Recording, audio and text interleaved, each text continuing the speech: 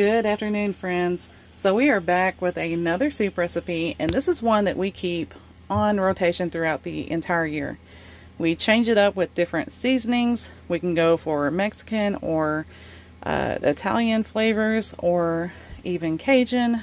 Uh, we use different seasonings in this, but today we are going to be using an Italian seasoning in this. And we always stick with a tomato base. It's usually crushed tomatoes and we almost always have carrots and onion in this. Now we vary the vegetables. It can be squash of any kind. Um, we have zucchini today and we vary the meats in it. Today we have a ground sausage that is spicy and that will go well with the Italian flavors. And we always add just a little bit of chicken broth powder to this or fresh chicken broth if we have it. And we're adding in some lentils today. These are the red lentils. They cook up to be really, really soft. And um, that's going to add a little bit of extra protein as well as fiber. And you can change this part out to anything that you want. Even add pasta if you'd rather have that. Um, we've used chickpeas. So you can get creative with this soup. This could also be almost called your kitchen sink soup or fridge clean out soup. And it's almost always affordable. Uh, I couldn't think of too many items that you could add in here that would be super costly, but this is a, a, very good budget meal if you're trying to stick to a low income or low budget type of eating. And that's basically what we do.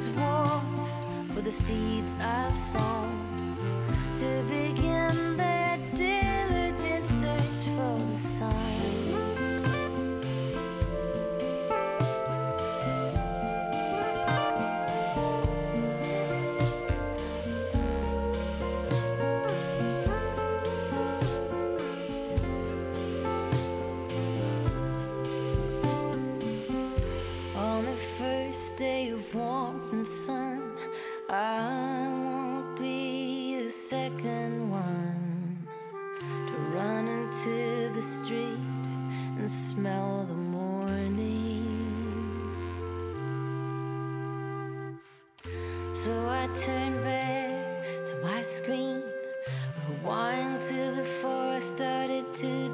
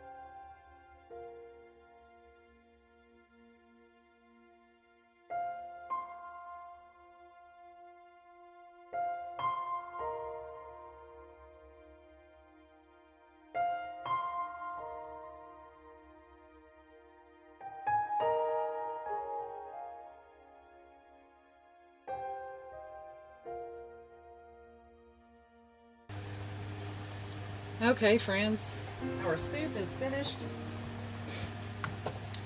Our zucchini is nice and tender now. So I'm going to go ahead and plate this up. I did add just a little bit more Italian seasoning. I just used a mix. You can use any seasoning mix that you would like. But we've got some nice bread over here we've toasted. Normally I would make some homemade bread for this, but I ran into Walmart the other day to get something that I needed for laundry and I just scrolled through the clearance things and they had some bread marked down. So I was like, why not?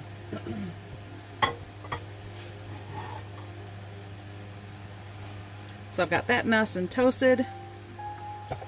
Hopefully you guys can see that. Let me see if I can lighten it up a little. I don't know if you can see it very well, but that's what it looks like. And I usually add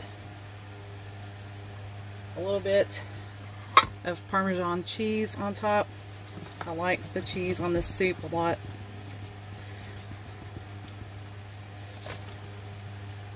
Of course, if you have a really nice piece of Parmigiano, shave it over the top, but this is what I have, the shaky stuff. So that's what we're, what we're going to eat.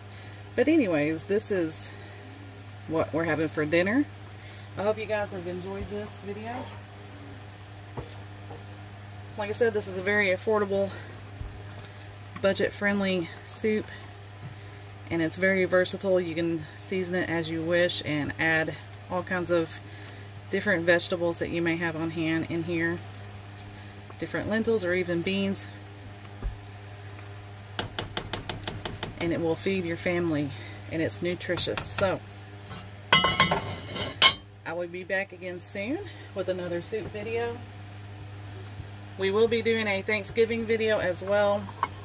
I am actually going to cook for my family. It'll be my first year to be able to finally do that. My bigger sister usually does that, but with my heart issues, I would like to at least do it once before things get much worse. I have had a little bit of a downgrade on my heart condition. It's doing worse. So the family has agreed to let me do that this year. So I'm going to bring you guys along and I hope you enjoy that too. But anyway, I love you guys and I hope you all are doing well. I will see you again soon. Bye friends.